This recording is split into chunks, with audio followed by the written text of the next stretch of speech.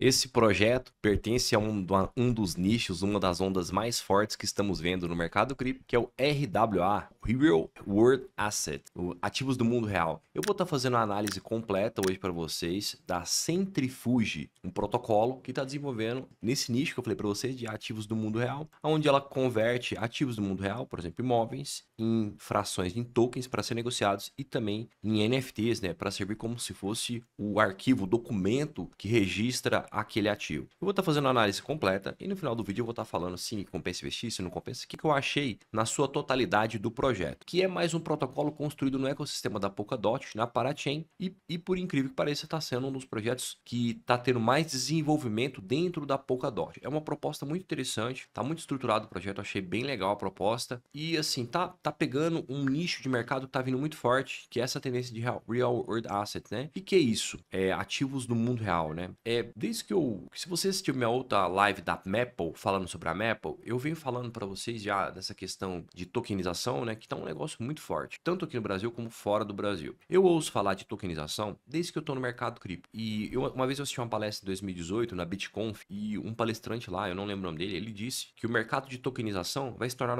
o maior mercado do mundo, é um mercado trilionário. Por quê? Porque eu posso tokenizar qualquer coisa. Eu posso pegar uma desde objetos de arte a imóveis imóveis, títulos públicos, qualquer coisa que você acha que tenha valor, sei lá, coisas de colecionadores, até a vez, sei lá, bichos, sei lá, qualquer coisa você pode estar tá tokenizando se você quiser. Pode, principalmente hoje, imóveis, né? É a coisa mais visual, assim, mais fácil de entender, né? Praticamente eu posso pegar um imóvel, tokenizar ele, converter ele em tokens e negociar ele em formato de tokens, né? Em vez de eu ter, é, comprar um imóvel e vender ele somente, eu posso fazer isso. Similar ao que os fundos imobiliários fazem com imóveis, né? Só que quando eu tô tokenizando, eu tenho um pouco mais de eu tenho mais facilidade e agilidade, né? Você vai criar um fundo imobiliário, você tem todo um tem todo um arcabouço ali regulatório, né?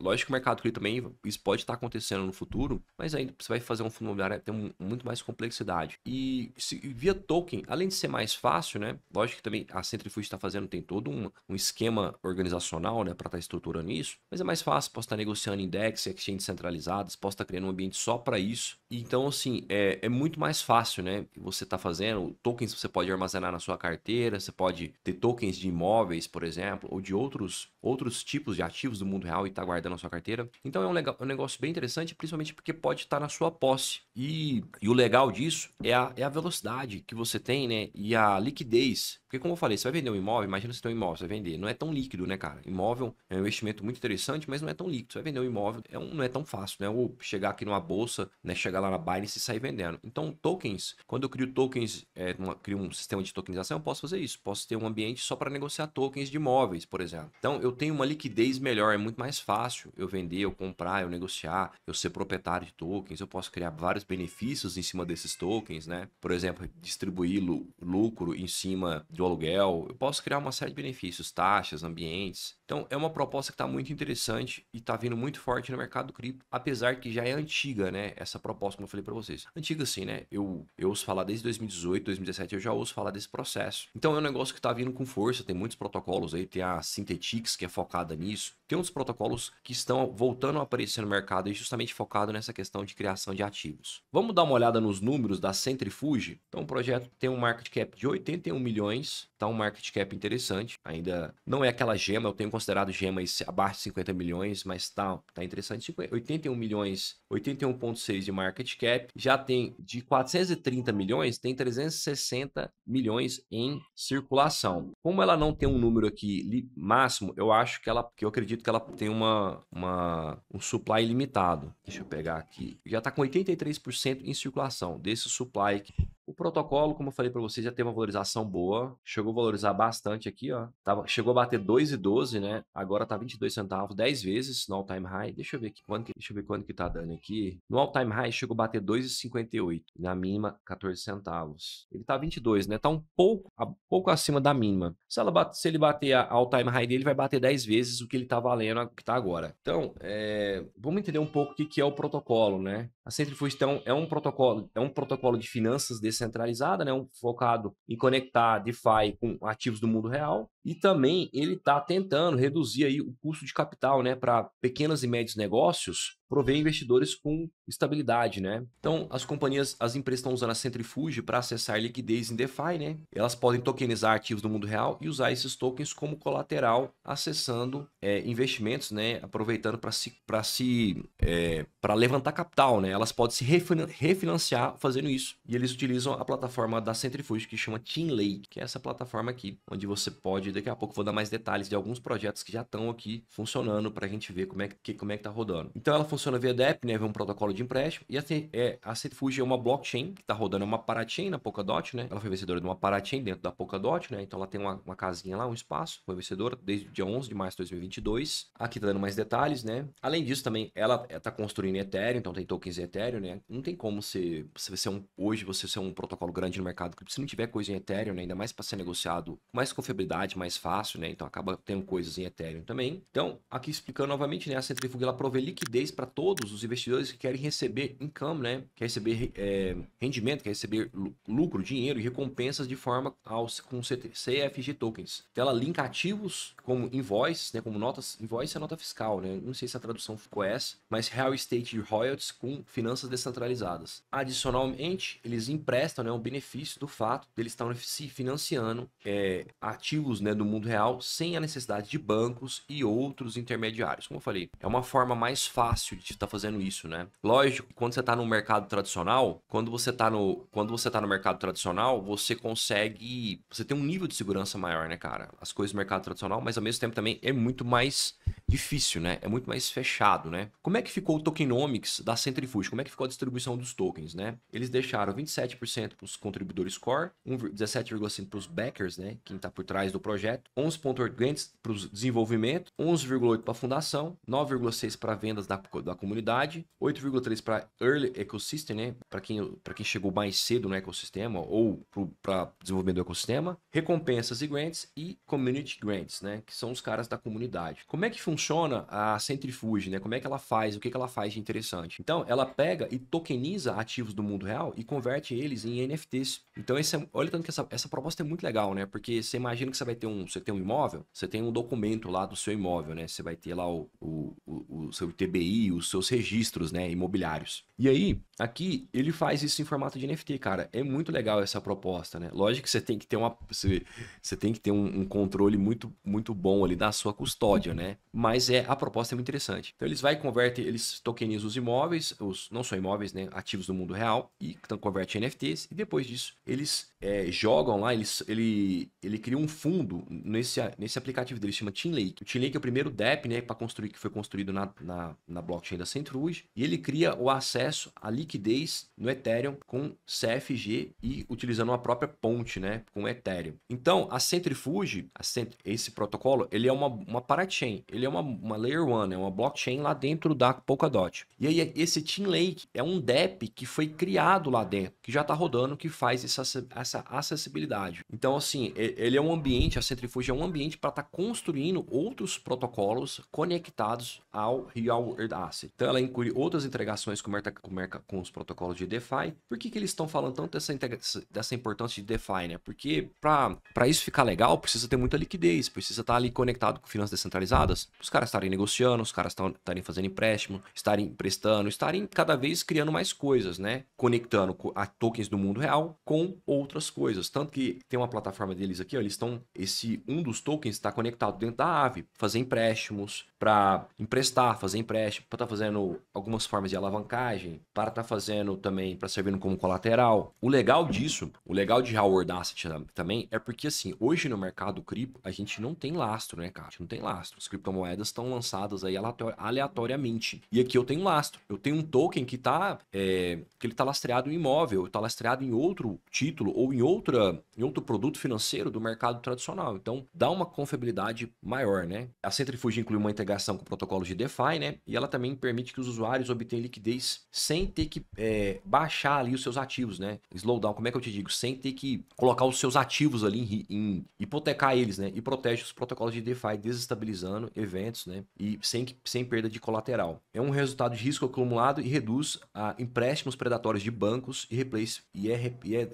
gerido por contratos inteligentes. Cara, é, quando os caras precisam, imagina que negócios pequenos precisam ou um ambiente, setor imobiliário precisa se capitalizar para investir, fazer alguma coisa. Então, é uma forma muito mais fácil do que você fazer isso via banco, né? Imagina, banco deve ser muito, é muito mais, tem muito mais protocolos, muito mais complicações, né? em junho de 2021, TVL desse, é, o Total foi um dos maiores, foi, foi o projeto que teve o maior TVL da Polkadot. Uma olhada no site deles, né? 127% de crescimento de TVL, tem mais de 11.139 ativos tokenizados e está com 387 milhões de ativos financiados, tá? Então os caras, é, lembra que a solução deles é gerar essa tokenização para quem está tokenizando se financiar, é como se fosse pegar um empréstimo no banco, só que ele vai estar tá fazendo isso via token, via cripto. Cara, eu não consegui achar informação aqui se esse token ele é limitado. Como não está mostrando informação aqui, eu estou acreditando que ele é ilimitado. Tem que ver como é que é a inflação e se ele tem um programa de queimas, tá? Aqui tá falando que é um total de 425 milhões de tokens. Aquela distribuição que eu falei para vocês, né? A forma que foi feita, de 425 milhões. Cheers. Tem um programa de vesting, que vai até 2031, quarto trimestre de 2031. Como aqui não tá colocando o máximo de supply, eu tô achando que ele é infinito, tá? E aí na página dele está fora do ar para saber. Mas assim, não é ruim, né? Tem que ter de melhor, igual eu te falei, porque o Ethereum também funciona assim. O Ethereum não tem um número limitado de tokens, mas ele criou um programa de queima que funciona muito bem. Então, tá falando aqui, né? Transparência, obtenha transparência, né? Para estruturar e securitizar, né? Que é tokenizar o seu capital em serviços de débito facilitado. De baixo custo, né? Infraestrutura descentralizada. Acesso à liquidez de, de plataformas de finanças descentralizadas. Pô, isso, cara, isso é muito legal, né, velho? Porque você imagina que você se, se refinancia, precisa fazer alguma coisa, você é um, um, você é um negócio do setor imobiliário, que precisa de capital para investir, para melhorar, para investir mais imóveis, por exemplo. Você vem aqui, se capitaliza, pega essa grana, vende e saca e faz e usa o que você quer, né? E ao mesmo tempo você acessa, você acessa várias plataformas de finanças descentralizadas que eu consigo dar mais liquidez a esses tokens, né? Então é interessante. Participação igual e aberta, diversificação e security, né? Tá falando que é seguro, porque tá tokenizado, né? Tem esse contrato inteligente, passa pelo processo de KIC e por aí vai.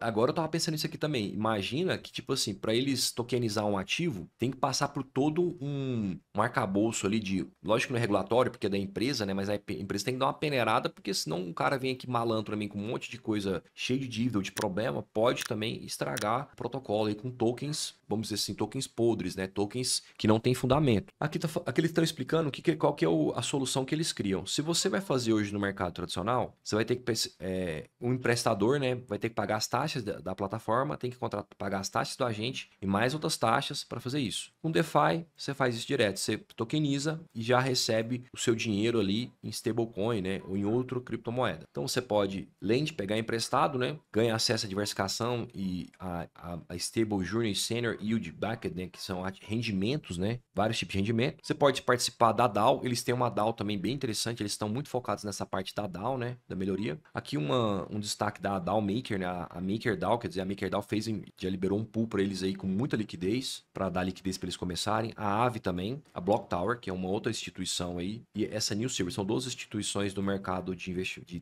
cripto, mas eles já fizeram várias tokenizações com eles. Aqui alguns, alguns projetos, né, igual que eu acabei de mostrar para vocês, que já estão utilizados aqui e dá para você investir se você quiser. Aqui eu separei essa Block Tower, e aqui ela tá falando, né, que ela é uma franquia para crédito, né, capital, ela é uma empresa registrada pela SEC, com ativos digitais e blockchain e investimento. E a, e a, a firma foi fundada, a empresa em 2017, então é uma empresa que, que, a, que crédito, né, habilidade de profissionais de escreva, estruturação, underwriting, né, que deve ser de fazer, de fazer contratos e estruturação de investimentos e intersecção com mundo real de crédito. Eles estão tokenizados aí, esse negócio deles e o, e o modelo de crédito deles. Tá, como eu falei, tá bem legal. Você entra aqui, ó, você consegue ver toda a estrutura de como é que foi feito, sabe? Como é que foi feita a tokenização, os valores, para quem quiser investir ou para quem quiser participar do pool, gerar rendimento. Uma outra empresa, essa New Silver, empresa de, te de tecnologia também, é não bancária, né, de, de, de empréstimo, focada em prover real estate back, né, finance nos Estados Unidos. Então, assim, o que, que é isso? É, ela quer, ela, ela é focada em criar um financiamento, mas eu tenho um colateral por trás, né? Porque lembra da crise de 2008, né? A crise de 2008, um dos motivos foi isso, né? Um alto número de empréstimos sem, sem nenhum mínimo de segurança. Então os caras criam algum back, né, que é uma, um colateral, uma garantia por trás para não estar tá financiando para todo mundo. Tem muito tem muito protocolozinho interessante aqui, ó. Depois quem quiser dar mais uma olhada, dar detalhes do que tá rolando, investir. Tem muita coisa. Tem coisa na área de carbono, né? Esse negócio de carbono já foi muito, já teve muito em alta, né? Depois deu uma caída esse negócio. Aqui dando os detalhes também dos pools, como é que funciona, né? Como eu falei, eles pegam e tokenizam os ativos e convertem eles em NFTs, usando esses NFTs como colateral no pool da Centrifuge. A Uniswap também, quando você pega empréstimo lá no